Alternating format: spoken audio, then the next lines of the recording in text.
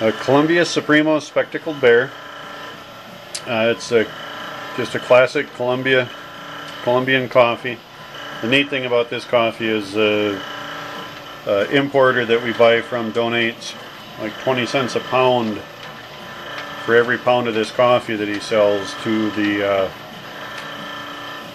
I can't remember. It's in the listing, but it takes care of the spectacled bear, uh, the Sierra Club or something like that. I can't remember exactly what it is, but they it goes specifically to a unit that's trying to look after the spectacled bear in the uh, rainforest jungle mountains of uh, Colombia.